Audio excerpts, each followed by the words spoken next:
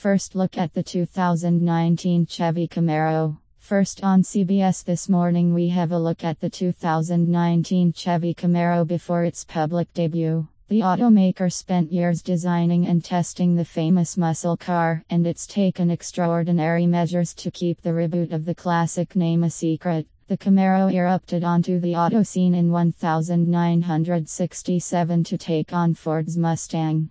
Through the years and multiple design changes, it's become an icon for General Motors, so secrecy is key. Pictures not only ruin the surprise for customers and tip off competitors, they also hurt business. Based on the materials of the site,